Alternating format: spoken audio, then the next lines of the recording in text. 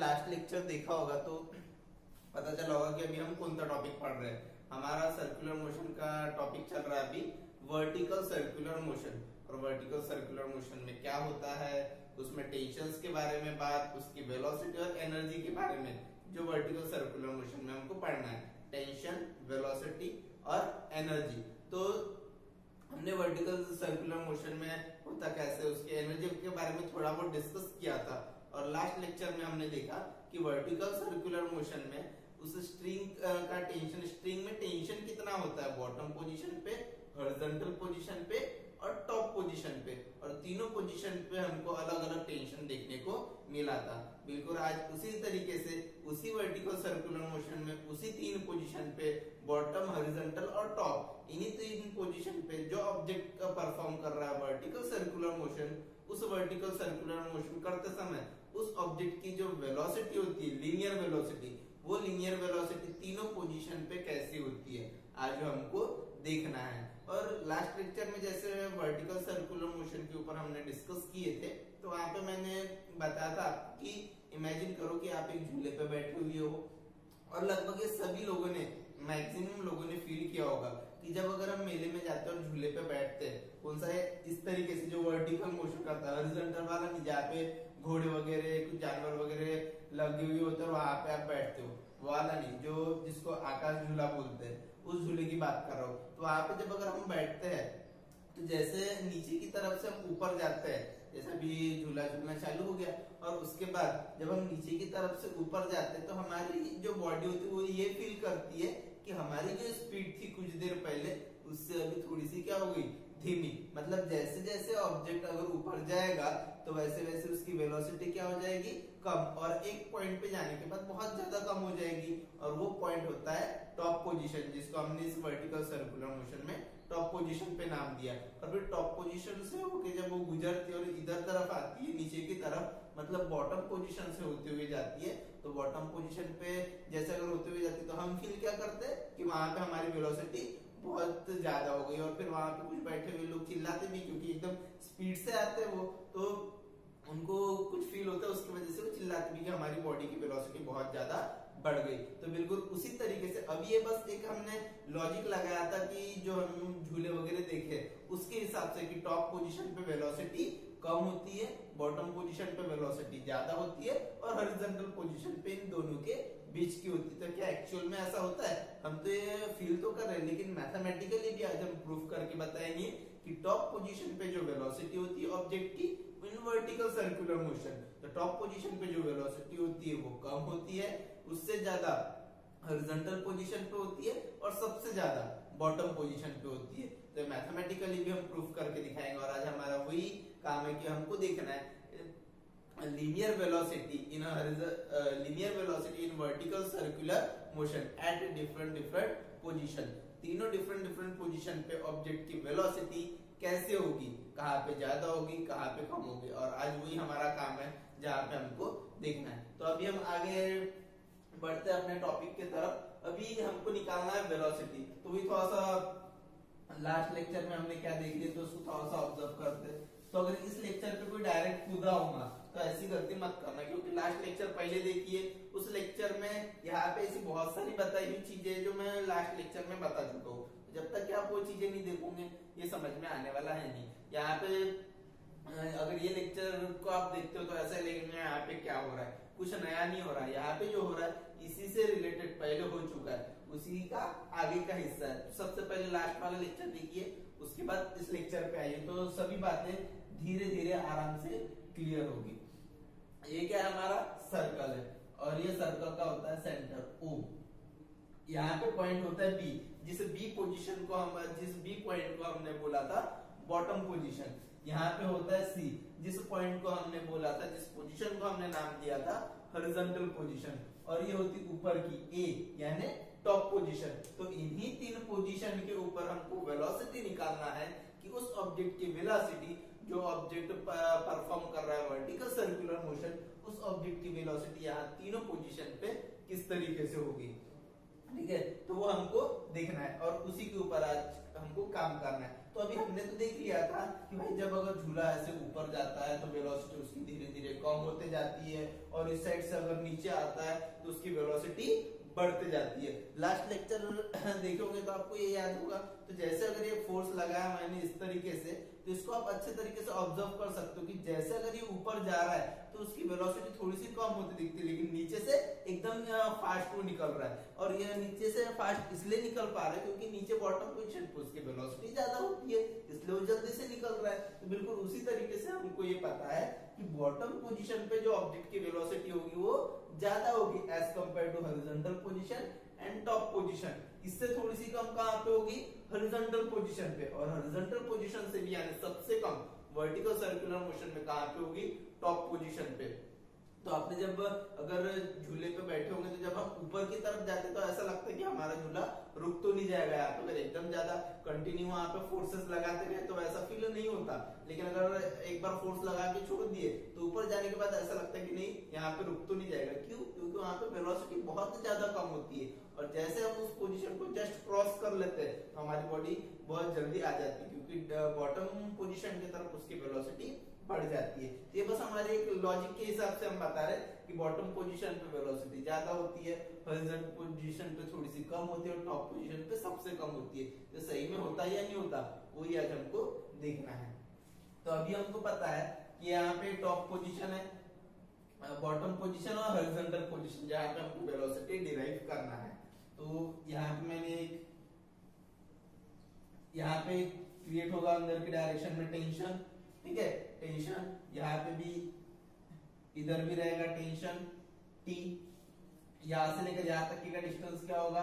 Are यानी radius यहाँ से लेकर यहाँ तक का भी डिस्टेंस क्या होगा? आर यानी रेडियस और यहाँ से लेकर यहाँ तक का भी अगर मैं पॉइंट बोलता हूँ तो ये भी क्या हो जाएगी? रेडियस ठीक है? तो ये हमारी डायग्राम बन जाती है और अभी हम आगे बढ़ते हैं। अपने डेरिवेशन की तरफ़ जहाँ पे हमको वेलोसिटी डिराइव करना है। तो मैं लिखता हूँ यहाँ पे linear velocity at different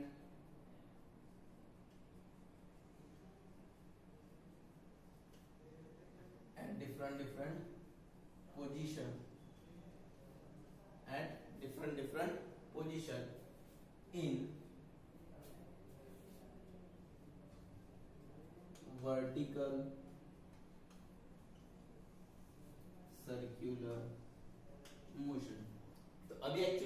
करना है कि जब अगर कोई ऑब्जेक्ट परफॉर्म कर रहा है वर्टिकल सर्कुलर मोशन तो उसके डिफरेंट डिफरेंट पोजीशन है टॉप पोजीशन हॉरिजॉन्टल पोजीशन और बॉटम पोजीशन यहाँ पे तीनों पोजीशन पे उसकी वेलोसिटी कैसी होगी, उसकी वेलोसिटी चेंज कैसी होगी, उस वेलोसिटी को हमको देखना है। तो अभी सबसे पहले मैं डिराइव करता हूँ टॉप पोजिशन पे। ये कौन सी पोजीशन है हमारी? टॉप पोजिशन टॉप पोजीशन साथ में ये कौन सी पोजीशन है? बॉटम पोजीशन बॉटम पोजीशन और ये कौन सी पोजीशन है हमारी? हॉरिजॉन्टल हमारी मतलब उस ऑब्जेक्ट की, जो परफॉर्म कर रहा है वर्टिकल सर्कुलर मोशन ठीक है? तो इन तीनों पोजीशन पे हमको अलग अलग वेलोसिटी डिराइव करना है। तो जैसे अभी अगर मैं मान के चलता हूँ, यहाँ पे कोई ऑब्जेक्ट है। कौन? वी सफिक्स ए पे। पोजीशन जो ए है, वहाँ पे अगर कोई ऑब्जेक्ट है हमको इतना तो 100 परसेंट पता है। जब अगर कोई ऑब्जेक्ट में अगर लिनियर सॉरी अगर जब कोई ऑब्जेक्ट परफॉर्म कर रहा है सर्कुलर मोशन ये वर्टिकल सर्कुलर मोशन है, वो ठीक है, लेकिन सर्कुलर मोशन नहीं है ना। और जब अगर कोई ऑब्जेक्ट सर्कुलर मोशन कर रहा है तो उसकी लीनियर वेलोसिटी कैसे होती है? अगर यूनिफॉर्म सर्कुलर मोशन कर रहा है तो कांस्टेंट होगी। लेकिन अगर सिर्फ़ सर्कुलर मोशन की बात करते हैं इसमें तो उसकी वेलोसिटी तो चेंजेस होती है। लेकिन उसका मैग्नीट्यूड किसी तरीके से हो, लेकिन उसकी वेलोसिटी डायरेक्शन में हमेशा कैसे होती है? डायरेक्शन में हमेशा कैसे होती है? चेंजेस मतलब टेंजेंशियल जो अलोंग द टेंजेंट होती है। तो यहाँ पे वी सफिक्स ए आ जाएगी, जिसको वी सफिक्स भी बोल सकते हैं हम लोग। ये आ जाएगी उसकी वेलोसिटी मत, कहाँ पे? At point at point A पे। और अगर बी की बात करते हैं यहाँ से उसकी, अगर ऑब्जेक्ट है तो उसकी वेलोसिटी की डायरेक्शन इधर होगी, जो v suffix b is equal to v suffix 2 नाम दे दिया मैंने। फिर अगर यहाँ पे बात करते तो यहाँ पे उसकी वेलोसिटी ऐसे हो जाएगी v suffix is equal to v suffix 3 ये आ गई उसकी वेलोसिटी और ये हमने फ़र्स्ट लेक्चर में देखे कि जब अगर कोई ऑब्जेक्ट परफॉर्म करता है सर्कुलर मोशन तो उसकी लिनियर वेलोसिटी की डायरेक्शन हमेशा कैसी होती है? चेंजेस अलोंग द टेंजेंट हर पॉइंट टू पॉइंट पे अगर ऑब्जेक्ट यहाँ पे होता तो उसकी वेलोसिटी इधर की डायरेक्शन में होती। तो जैसे जैसे ऑब्जेक्ट की पोजीशन चेंज होते जाती है, वैसे वैसे उसके वेलोसिटी की डायरेक्शन भी चेंज होती है। ये हम देख चुके हैं। तो यही टॉप पोजीशन पे v suffix a bottom position पे v सफिक्स b और हॉरिजॉन्टल पोजीशन पे v सफिक्स c हमको डिराइव करना है। तो सबसे पहले हम निकालते हैं टॉप पोजीशन पे। Velocity velocity at top position velocity at top position अभी वेलोसिटी हमको निकालना है टॉप पोजीशन पे। तो अभी अगर देखा जाए तो इसको डिराइव करने के लिए जब हमने वर्टिकल सर्कुलर मोशन स्टार्ट किया तो बस एक ही हथियार है हमारे पास। एक ही हथियार मतलब कौन? इस वर्टिकल सर्कुलर मोशन में टेंशन कितना होता है। वही है। उसके अलावा और कोई दूसरी चीज़ हमारे पास अवेलेबल नहीं है। इसका मतलब अगर इसको डिराइव करना है तो हमको बस टेंशन का ही सहारा लेना पड़ेगा दूसरी चीज़ हमारे पास अवेलेबल नहीं है। तो टॉप पोजीशन पे टेंशन कितना होता है वो हम लास्ट लेक्चर में देख चुके हैं। वही देखते हैं क्या होता है। भी हाँ। हमने देखा था जो लास्ट लेक्चर हमने देखा इस वर्टिकल सर्कुलर मोशन का कि टॉप पोजीशन पे उसका टेंशन कितना होता है। तो टॉप पोजीशन पे हम टेंशन देखा T suffix a is equals to m v square by r minus m into g ये टेंशन हमने लास्ट लेक्चर में देखा था डिराइव किया निकाला था कांसेप्ट के हिसाब से T suffix a is equals to m v square by r minus m g T suffix a यानी tension in the string at top position m यानी mass of the object v यानी velocity of the object r यानी radius of the circle और g यानी acceleration due to gravity तो ये v suffix a हो जाएगा क्योंकि टॉप पोजीशन पे वेलोसिटी है v सफिक्स a इसीलिए, v suffix a, v suffix b, v suffix c, क्योंकि हर एक जगह उसकी वेलोसिटी कैसी है? चेंजेस है। इसलिए हमने v सफिक्स a नाम दे दिया इसको टॉप पोजीशन पे। लेकिन इसके साथ साथ हमको ये भी पता है, अगर आपने लास्ट लेक्चर देखे होंगे कि टॉप पोजीशन पे टेंशन कितना होता है? ज़ीरो ये मैंने बताया था कि टॉप पोजीशन पे टेंशन कितना होता है? ज़ीरो और अगर टॉप पोजीशन पे टेंशन ज़ीरो है टॉप पोजीशन पे टेंशन अगर ज़ीरो है तो यहाँ पे क्या लिख सकता हूँ मैं? इस इक्वेशन को m v square suffix a divided by r minus m into g is equals to zero क्योंकि t सफिक्स a यानी क्या है? ज़ीरो ये हम लास्ट लेक्चर में देख चुके हैं। अब इस mg को मैं भेज देता हूँ राइट हैंड साइड में। तो यहाँ पे माइनस में तो राइट हैंड साइड में जाएगा तो क्या होगा? प्लस तो यहाँ पे आ जाएगी equation m v square suffix a divided by r is equals to m into g. अब यहाँ पे क्या होगा? M से m हो जाएगा। Cancel v square by r is equals to mg यहाँ पे बच जाएगा v सफिक्स a का square divided by r is equals to g m से m हो गया कैंसिल अब r चले जाएगा इधर तो क्या बनेगी इक्वेशन v सफिक्स a का square is equals to rg निकालना क्या हमको? वेलोसिटी कहाँ पे? टॉप पोजीशन पे v सफिक्स a. तो दोनों साइड ले लूँगा मैं स्क्वायर रूट तो स्क्वायर रूट से स्क्वायर हो जाएगा कैंसिल और इधर आ जाएगा स्क्वायर रूट तो v suffix a is equals to square root of r into g. ये निकल जाएगी हमारी velocity of the particle performing vertical circular motion at top position जब ऑब्जेक्ट परफॉर्म कर रहा है circular motion vertical circular motion तो उसकी जो वेलोसिटी होगी कहाँ पे? टॉप पोजीशन पे। वेलोसिटी जो होगी उसकी टॉप पोजीशन पे। वो टॉप पोजीशन पे हमको वेलोसिटी मिल गई। जो है v suffix a is equals to square root of rg अभी ये हम, हमारे कंसेप्ट के हिसाब से और जो अभी तक हमने देखा टॉप पोजीशन पे वेलोसिटी कम है। इसका मतलब जब अगर हम बॉटम पे और हॉरिजॉन्टल पे निकालेंगे तो इस फॉर्मूले में मल्टीप्लाई में कोई ना कोई तो भी वैल्यू आएगी, या कोई तो भी कांस्टेंट टर्म आएगी, जो इसकी वैल्यू इसके कंपेयर में क्या कर दे, बढ़ा दे, इसकी बॉटम पे और हॉरिजॉन्टल पे। तो सही में होता है या नहीं होता, वो हमको देखना है। तो आप सबसे पहले इसका स्क्रीनशॉट ले लीजिए, और फिर इसके बाद हम आगे बढ़ते हैं। तो अभी ये निकाल के हो गया linear linear velocity at top position अब हम बात करेंगे linear velocity at bottom position पे। तो जब अगर हम बॉटम पोजीशन की बात करें तो उससे पहले एक छोटी सी चीज़ मैं बताऊँगा जो आपको ध्यान में रखना है।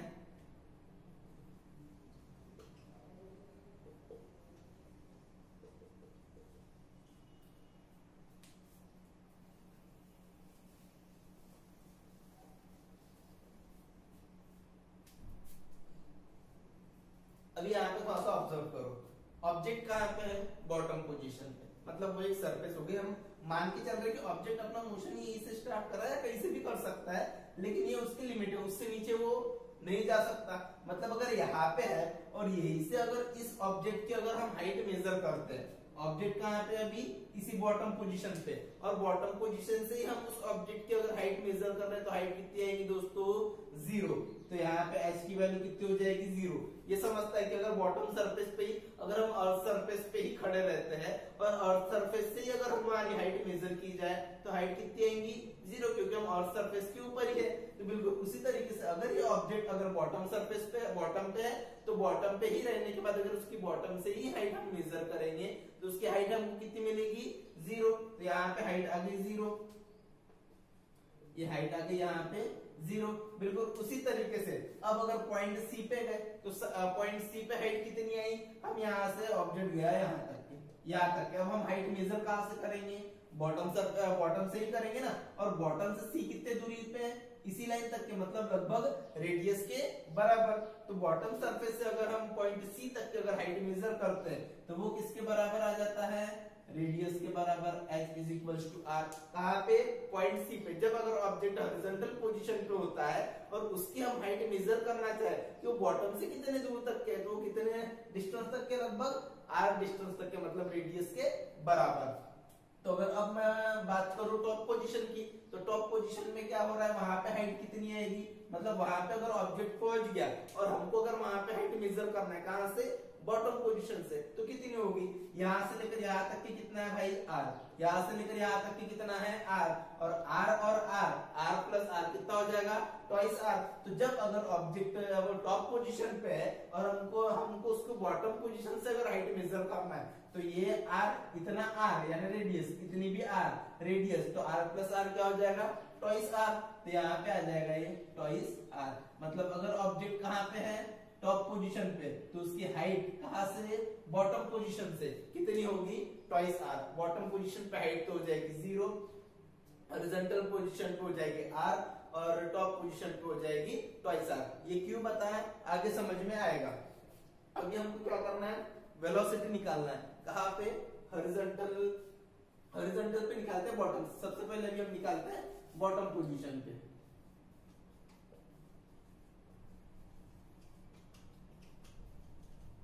बॉटम पोजीशन से। अभी बॉटम पोजीशन से निकालने के पहले जो लास्ट लेक्चर में भी मैं बात कर चुका हूँ, आपको अच्छे से पता है according to mechanical energy conservation of mechanical energy conservation of mechanical energy दुनिया में हर जगह पे कैसे होती है? कांस्टेंट अगर ऑब्जेक्ट कहीं पे भी वर्टिकल सर्कुलर मोशन भी अगर कर रहा है तो उसकी बॉटम पोजीशन पे जो एनर्जी होगी बॉडी की टोटल एनर्जी वही टोटल एनर्जी कहाँ पे होगी? हॉरिजॉन्टल पोजीशन पे। वही टोटल एनर्जी कहाँ पे होंगी? टॉप पोजीशन पे, उसकी वेलोसिटी उस पोजीशन पे कैसी भी हो, उसकी, उसका टेंशन भी किसी तरीके से उससे मैटर नहीं करता हो कैसा भी हो। लेकिन हमको ये बात 100 परसेंट पता है कि हर एक जगह पे उसकी टोटल एनर्जी कैसी होगी? कांस्टेंट और जैसे लास्ट लेक्चर में मैं बता चुका कि काइनेटिक एनर्जी और पोटेंशियल एनर्जी ऑब्वियसली चेंज होगी, लेकिन उसके चेंज होने के वजह से टोटल एनर्जी के ऊपर कुछ भी इफ़ेक्ट नहीं पड़ता। काइनेटिक एनर्जी और पोटेंशियल एनर्जी जो चेंज होती है, वो चेंज तो होती है, लेकिन हमेशा उसका जो सम आता है, वो टोटल एनर्जी के बराबर ही आता है। अभी जैसे अगर हमने बताया कि यहाँ पे कुछ तो कुछ एनर्जी है, अगर यहाँ से बॉटम पोजीशन से मोशन करते हुए जा रहा है तो ऑब्वियसली उसकी काइनेटिक एनर्जी होगी। अब इसके पास कुछ तो कुछ काइनेटिक एनर्जी है। मैं मान के चलता हूँ कि यहाँ पे जब वो बॉटम पोजिशन पे पहुँचा तो उसकी काइनेटिक एनर्जी 50 जूल। उसकी काइनेटिक एनर्जी है 50 जूल और वहाँ पे पोटेंशियल एनर्जी नहीं है। क्योंकि अगर हमको पता है पोटेंशियल एनर्जी का फॉर्मूला क्या होता है? एम जी एच यहाँ पे हाइट कितनी है भाई? ज़ीरो तो पोटेंशियल एनर्जी आना पॉसिबल नहीं है। तो काइनेटिक एनर्जी आ गई हमारी फिफ्टी जूल और पोटेंशियल एनर्जी आ गई ज़ीरो लेकिन जब अगर यहाँ से ऊपर की तरफ़ जाएगा मतलब कुछ तो बीच हाइट लेगा तो हाइट के आने के वजह से इतना तो कंफर्म है कि उसकी कुछ न कुछ तो बीच पोटेंशियल एनर्जी आएगी। कितनी आ रही है? पता नहीं, लेकिन कुछ न कुछ तो पोटेंशियल एनर्जी आएगी। जब अगर पोटेंशियल एनर्जी आएगी तो इधर काइनेटिक एनर्जी क्या हो जाएगी? कम। और अगर पोटेंशियल एनर्जी आ गई इधर फाइव जूल तो काइनेटिक एनर्जी कितनी हो जाएगी? 45 जूल अगर ये फिर से कुछ हाइट पे पहुँच गया और ये अगर हो गया 10 जूल तो काइनेटिक एनर्जी हो जाएगी 40 जूल। तो जैसे अगर काइनेटिक एनर्जी की वैल्यू कम होगी तो उधर पोटेंशियल एनर्जी की वैल्यू क्या होगी? बढ़ जाएगी। लेकिन इन दोनों का हमेशा सम अगर देखोगे तो कितना आएगा? 50 जूल, जो हमेशा टोटल एनर्जी का रहेगा और वो हमेशा हर जगह पे कैसी रहेगी? कॉन्स्टेंट तो इसी के कंसेप्ट का यूज़ करके अभी हम अगले अपने एक्सप्रेशन की तरफ़ बढ़ते हैं। जो हमने देख लिया कि बॉटम पोजीशन पे हो या टॉप पोजीशन पे हो, या हॉरिजॉन्टल पोजीशन पे हो, किसी भी पोजीशन पे बॉडी की टोटल एनर्जी कैसे रहेगी? कांस्टेंट और जब अगर वो कांस्टेंट है तो इस तरीके से लिखने का मेरे को पूरा हक है। मैं लिख सकता हूँ total energy total energy at bottom total energy at total energy at bottom is equals to सो को थोड़ा सा शॉर्ट में लिख देते हैं। Total energy at B total energy at B is equal to total energy at A हमको bottom position पे निकालना है और हमको पता है कि जो एनर्जी उसकी टोटल एनर्जी बॉटम से बॉटम पे रहेगी वही कहाँ पे रहने वाली है? ए पॉइंट ए पे। मतलब इस तरीके से ये जो लिखा मैंने total energy at bottom position is equal to total energy at top position तो ये लिख के मैंने कोई पाप नहीं कर दिया क्योंकि ये होता है। टोटल एनर्जी बॉटम पोजीशन पे और टॉप पोजीशन पे साथ में उसी के हॉरिजॉन्टल पोजीशन पे भी कांस्टेंट होती है। उसमें कोई भी चेंज नहीं आता। लेकिन ये जो टोटल एनर्जी होती है, वो किसका सम होता है? काइनेटिक एनर्जी और पोटेंशियल एनर्जी तो मैं यहाँ पे लिख सकता हूँ kinetic energy at B kinetic energy at B यानी bottom position plus potential energy at bottom position is equal to ये भी बिल्कुल उसी तरीके से आएगा। काइनेटिक एनर्जी एट ए यानी top position plus potential energy at B यानी बॉटम पोजीशन इस तरीके से। काइनेटिक एनर्जी का फॉर्मूला क्या होता है? हाफ़ एम वी स्क्वायर या आगे हाफ़ एम वी स्क्वायर ये वेलोसिटी तो है, लेकिन कौन से पोजीशन की है? बॉटम पोजीशन की. इसलिए मैंने इसको नाम दे दिया v suffix b plus potential energy mass तो दोनों जगह कांस्टेंट ही है. ऑब्जेक्ट चेंज नहीं हो रहा है. तो बॉटम पोजीशन पे रहे हॉरिजॉन्टल पोजीशन पे रहे या टॉप पोजीशन पे रहे उसके मास के ऊपर कुछ भी फ़र्क पड़ने वाला नहीं है. ठीक है? और वन बाय टू ऐसे भी कांस्टेंट टर्म है. प्लस आ गया. पोटेंशियल एनर्जी का formula m g h h m और जी वैसे भी कांस्टेंट है। एच मायने रखता है क्योंकि जैसे जैसे अगर ऑब्जेक्ट वर्टिकल सर्कुलर मोशन कर रहा है तो उसके हाइट में चेंजेस आ रहे हैं। और अभी ऑब्जेक्ट इस साइड में कहाँ पे बॉटम पोजीशन पे। तो एस सफिक्स बी नाम दे दिया मैंने इसको। इज़ इक्वल टू बिल्कुल सेम तरीके से हमको राइट हैंड साइड में भी पुट करना है। Formula half m v square object कहाँ की बात कर रहे हैं? हम टॉप पोजीशन पे। V suffix a plus potential energy का m g h suffix sorry यहाँ पे ए आ जाएगा टॉप पोजीशन ये आ जाएगा ए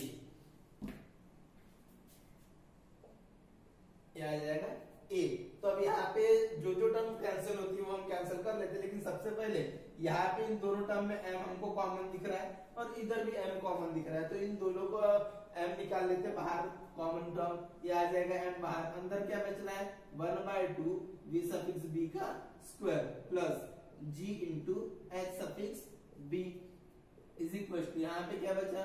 One by two m v suffix a का सॉरी ये एम आ जाएगा बाहर, इधर बचेगा। One by two m v suffix a का square plus g into s suffix a ये बन जाएगी इक्वेशन अब इसके आगे, दोनों साइड अगर देखें तो एम से एम क्या हो जाएगा?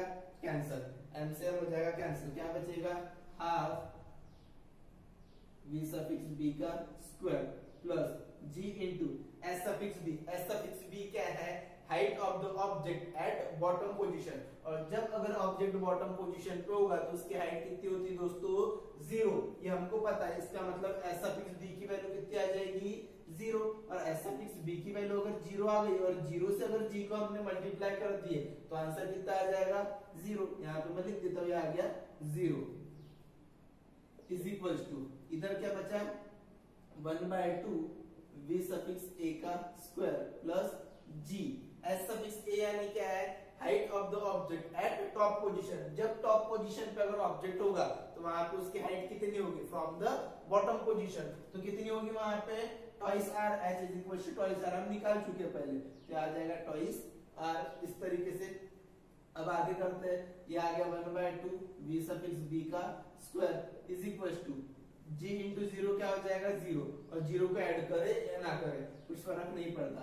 Is equal to one by two as it is v suffix a v suffix a के, यानी क्या है?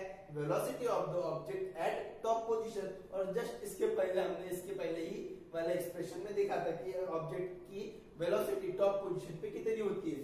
जो v suffix a is equal to थी रूट जी आर और जब अगर रूट जी आर थी v सफिक्स a तो यहाँ पे v square is equal to क्या लिख सकता हूँ मैं? जी आर तो यहाँ पे v square is equal to आ जाएगा सिर्फ़ जी आर तो यहाँ पे लिख, लिख दूँगा।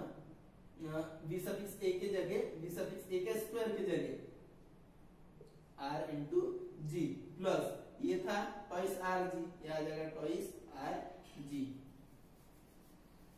ये आ गया यहाँ पे ट्वाइस आर जी अब ट्वाइस आर जी आ गया is equal to one by two v suffix b का square is equal to one by two r g plus twice r g ये वन बाय टू यानी आधा और twice are g दो और आधा यानी कितना होता है? ढाई।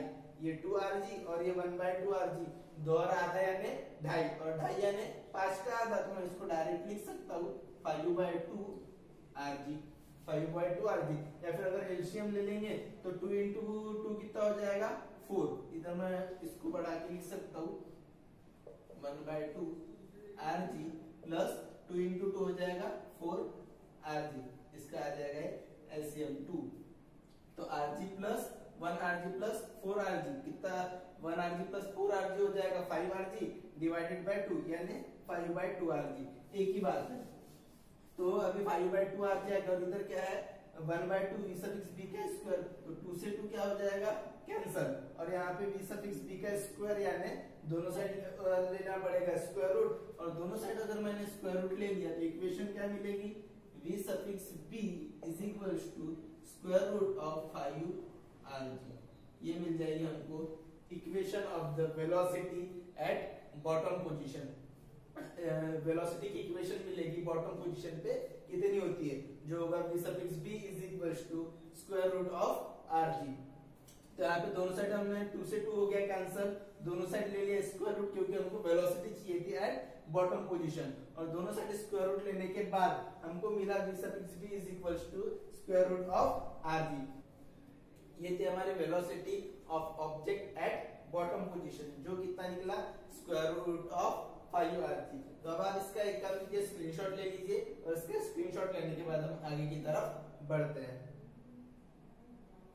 अभी, ये हो गया हमारी टॉप पोजीशन और बॉटम पोजीशन पर जैसे मैंने लास्ट टाइम बताया था आपको कि लास्ट मतलब इसके पहले जो हमने टॉप पोजीशन पे निकाला v suffix a is equal to square root of r g square root of r g हमने निकाले, अगर इन दोनों में देखे तो स्क्वायर रूट दोनों में, अंदर आर जी आर जी दोनों में है। लेकिन यहाँ पे सामने अगर मल्टीप्लाई में कितनी है?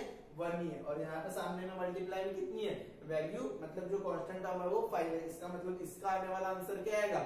ज़्यादा। तो हमको पता है कि बॉटम पोजीशन पर वैसे भी वेलोसिटी ज़्यादा होती तो अभी तक के जो मैंने बताया लॉजिक के तौर पे बताया, लेकिन अभी हमको मैथमेटिकल टर्म से भी समझ में आ गया। अब ये निकल गई हमारी वेलोसिटी कहाँ पे निकल गई? बॉटम पोजीशन पे। अब इसके बाद जो हम वेलोसिटी निकालेंगे, वो निकालेंगे हॉरिजॉन्टल पोजीशन पे, यानी पॉइंट सी पे पॉइंट सी पे वेलोसिटी कितनी होती है। उस पे हम बात करेंगे। पॉइंट सी पे यानी हॉरिजॉन्टल पोजीशन पे। तो velocity at horizontal position velocity at horizontal position बिल्कुल उसी तरीके से जो अभी हमने यूज़ किया। अभी इसमें से हम दो पॉइंट कोई भी ले सकते हैं। हॉरिजॉन्टल पोजीशन और टॉप पोजीशन या फिर हॉरिजॉन्टल पोजीशन और बॉटम पोजीशन क्योंकि तीनों पोजीशन पे बॉडी की टोटल एनर्जी कैसे होती है भाई? कांस्टेंट तो उसी को लेके हम चलते हैं। मैं लिखता हूँ total energy at horizontal position is equal to total energy at top position total energy horizontal पे और टोटल एनर्जी टॉप पे। तो क्या होता है देखते हैं। टोटल एनर्जी हॉरिजॉन्टल पे मतलब kinetic energy plus potential energy kinetic energy at horizontal position plus potential energy at horizontal position is equal to इधर भी उसी तरीके से kinetic energy at top position plus kinetic energy sorry potential energy at top position kinetic energy at horizontal position kinetic energy का formula क्या होता है? Half M V square velocity किसकी है? ऑब्जेक्ट की. कहाँ पे? हॉरिजॉन्टल पोजीशन पे. इसलिए आ जाएगा V suffix C plus potential energy का formula M G H H यानी क्या है? Height of the object from the bottom और ये कहाँ पे है? अभी हॉरिजॉन्टल पोजीशन पे यानी सी पोजीशन पे. Is equals to kinetic energy का formula half M V suffix V का स्क्वायर वेलोसिटी कहाँ पे है? टॉप पोजीशन पे, यानी पॉइंट ए पे। तो आ गया A plus potential energy M G H H यानी height of the object from the bottom कहाँ पे वो अभी? टॉप पोजीशन पे, यानी वी सफिक्स ए ये आ गया M B square by R बिल्कुल उसी तरीके से दोनों में से हम एम क्या निकाल लेंगे? कॉमन एम अगर कॉमन निकल गया तो इक्वेशन क्या बनेगी? One by two V suffix C का square plus G S suffix C is equals to M into one by two V suffix A का square plus G into S suffix A ये बन गई equation M M एक दूसरे की क्या लगा देंगे? वाट एक दूसरे को मार देंगे। और एक दूसरे को मारने के बाद बचेगा क्या इधर? One by two V suffix C का square plus G into S suffix C is equal to one by two V suffix A का square plus G into S suffix A बच जाएगा। अब यहाँ पे उसकी वैल्यू पुट कर, हमको निकालना क्या है? वी सफिक्स सी तो यहाँ पे one by two V suffix C as it is plus G into S suffix C यानी क्या है? एस सफिक्स सी यानी है height of the object at horizontal position जब अगर ऑब्जेक्ट हॉरिजॉन्टल पोजीशन पे तो वहाँ पे उसकी हाइट कितनी है? तो हमने देखा जब अगर वो बॉटम पोजीशन से अगर हम उसकी हाइट मेजर करते हैं तो कितने दूरी तक के है? आर यानी एच के बराबर कितना आ जाएगा आर तो यहाँ पे हो जाएगा जी जी एस सफिक्स सी के बराबर आ जाएगा R is equal to one by two V suffix A यानी क्या है? Velocity of the object at top position जो हम इसी लेक्चर में सबसे पहला टॉपिक निकाल चुके जो होता है R G V suffix A is equal to square root of R G होता है, लेकिन वी सफिक्स ए का स्क्वायर यानी R G plus G as it is S suffix A यानी height of the object at top position मतलब bottom position से, जब top position पे ऑब्जेक्ट पहुँच जाता है तो बॉटम पोजीशन से हम निकाल चुके पहले। कितनी होती है? ट्वाइस आर तो यहाँ पे एच की जगह क्या आ जाएगा? ट्वाइस आर इसको मैं लिखता हूँ अच्छे से ट्वाइस आर जी अब यहाँ पे क्या होगा? निकालना हमको वी सफिक्स सी है। इस जी आर को ये one by two V suffix C का square plus G R is equal to यहाँ पे क्या हो जाएगा? One by two R G plus कितना है? Two R G one by two R G plus two R G ये आधा आर जी और यहाँ पे दो आर जी दो और आधा यानी कितना होता है? ढाई. ढाई यानी पाँच का आधा. और पाँच का आधा यानी उसको लिख सकता हूँ मैं five by two R G ये आ गया five by two R G उसके पहले उसका एक्सएम कैसे लेते वो भी मैं बता चुका हूँ। ये आ गया five by two R G अब इस जी आर को मैं क्या करूँगा? उधर राइट हैंड साइड में भेज दूँगा। तो ये प्लस का क्या हो जाएगा? माइनस तो यहाँ पे आ जाएगा वन बाय टू सी का square is equals to five by two R G minus R G five by two R G minus R G अब इसको सॉल्व करते ये आ जाएगा one by two V suffix C का स्क्वायर तो यह क्या हो जाएगा? Twice R G five R G minus twice R G divided by क्या आ जाएगा? टू तो अगर पाँच आरजी में से तीन आरजी गया, पाँच आरजी में से अगर तीन सॉरी पाँच आरजी में से अगर दो आरजी गया तो आपके पास कितना बचेगा? तीन आरजी तो यहाँ पे मैं लिख देता हूँ V sorry one by two V suffix C का square one by two V suffix C का square is equal to five RG minus two RG कितना होगा? थ्री आरजी डिवाइडेड बाय कितना है? टू तो हो जाएगा three by two R G अगर three by two R G है तो यहाँ पे टू से टू क्या हो जाएगा? कैंसिल यहाँ पे क्या बचा? वी सफिक्स सी का square is equal to three R G V suffix C का square is equal to three R G और हमको चाहिए क्या सिर्फ़ वी सफिक्स सी तो दोनों साइड स्क्वायर रूट ले लेंगे तो इक्वेशन बनेगी V suffix C is equal to square root of three R G ये मिल जाएगा हमको velocity of the object at horizontal position तो आप इसका स्क्रीनशॉट ले लीजिए और फिर इसको आप नोट कर लीजिएगा। अब ये हो गया तो अभी जैसे जो हमने तीन एक्सप्रेशन देखे तो जो तीन वेलोसिटी हमने निकाला तो उसमें ऑब्ज़र्व किए होंगे कि सबसे पहले हमारी वेलोसिटी क्या निकली थी? V suffix A is equal to under root of R G तो फिर V suffix B is equal to the under root of five R G फिर था v suffix c is equal to under root of three R G ये थी top पे, ये थी bottom पे, और ये थी हॉरिजॉन्टल पे हॉरिजॉन्टल पे। तो यहाँ पे हमने जो मैंने कंसेप्ट के हिसाब से पिछले लेक्चर में और इस लेक्चर में भी आपको बताया हूँ कि जब अगर ऑब्जेक्ट परफॉर्म करता है वर्टिकल सर्कुलर मोशन या हम भी अगर झूले पे बैठे होते तो जैसे जैसे ऊपर जाते हैं मतलब हॉरिजॉन्टल और टॉप पे तो वेलोसिटी क्या होती है? कम होती है। किसके कंपेयर में? बॉटम के कंपेयर में। और हमको यहाँ पे दिख रहा है, जब बॉटम पोजीशन पर अगर ऑब्जेक्ट नीचे की तरफ़ मतलब हम झूले से जैसे अगर नीचे की तरफ़ आते तो हमारी वेलोसिटी बढ़ जाती है। तो वो दिख भी रहा है, जब बॉटम पोजीशन पर अगर ऑब्जेक्ट आया तो उसकी वेलोसिटी क्या आती ज़्यादा।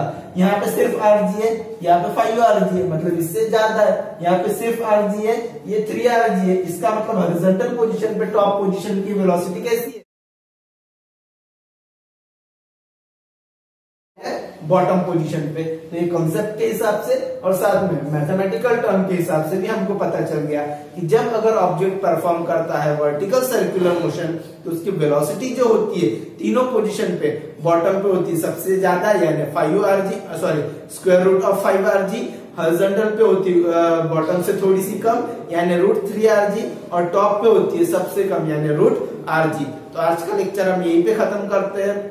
और अगले लेक्चर में जो वर्टिकल सर्कुलर मोशन का ही होगा, जिसमें हम देखेंगे कि उस तीनों पोजीशन पे, यानी टॉप हॉरिजॉन्टल और बॉटम तीनों पोजीशन पे उसकी एनर्जी सही में कांस्टेंट होती है या नहीं होती, वो हम अगले लेक्चर में देखेंगे। तब तक के पढ़ते रहिए, घर पे रहिए। Thank you